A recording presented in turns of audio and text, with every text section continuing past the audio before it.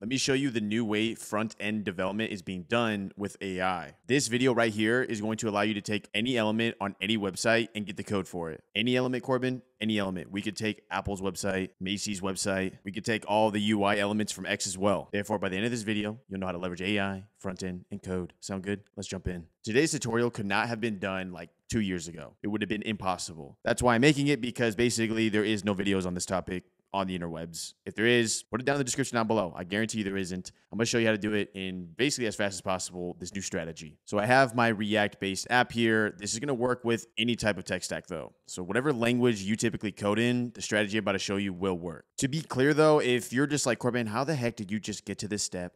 It feels like you skipped some. Since the purpose of today's tutorial is to show you the strategy and not how to just build out a React app, I'm to leave in the description how to build out a React app with Cursor AI, also with Windsurf. Obviously, you can also set up with VS Code as well. But like the big one here that if you really want a full-blown 3 hour and 11 minute video showing you how to do front-end development in this new age, check out that video right there.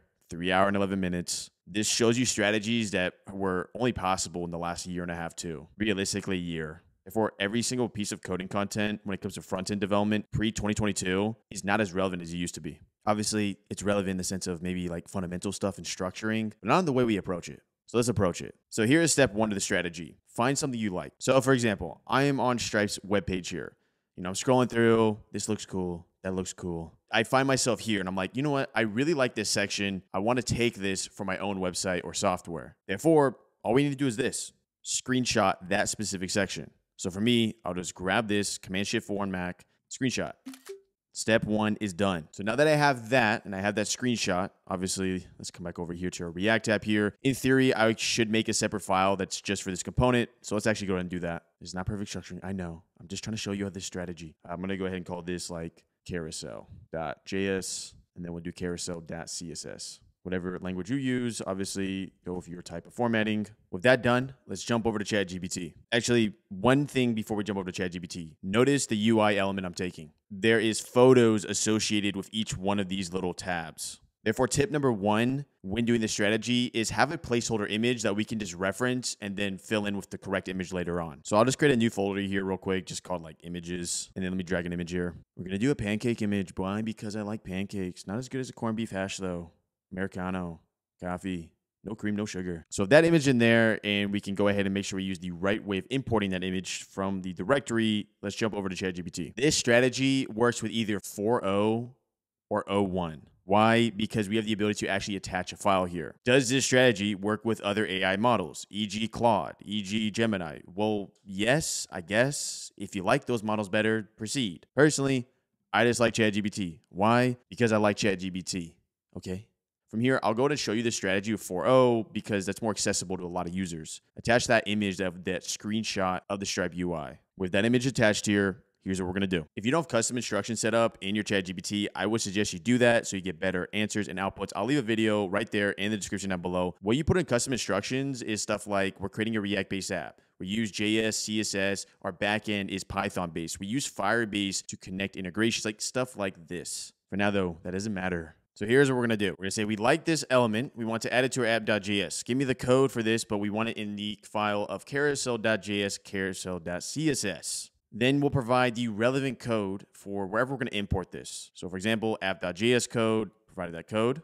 Then coming down here, we're going to say output the entire code for carousel and use this as the placeholder image wherever needed. And then provided that little pancake image. Remember, we're doing that so that it can use it as a placeholder for this, this, and this hit enter. Here's a second tip when it comes to this. Sometimes when talking to ChatGPT in the context of this strategy, it'll output little snippets of code relevant to the UI you provide. This can be annoying. So if to not do this, ask for it to do the entire file. We don't want a lazy ChatGPT. I found better results using the O1 model and just basically getting it right on the dot, right on the first input. With the 4o, you're to have to play around a little bit in the sense of structuring and making it look perfect. For now, though, Let's proceed. We're going to copy the JS code here. Come over to carousel.js, paste. And to make sure we can even see this React project, let's go ahead and run it. So we're gonna come over here to terminal. As I stated before, make sure to watch that three hour video, three hours of free content. If you really want an in-depth tutorial on all this, even going to as far as showing you how to push it to a live website link that you can access, newsletter, CTAs, everything like that. NPM start, let's get the localhost 3000 going here. Coming back over here, let's go to CSS, copy code. Go ahead and paste it.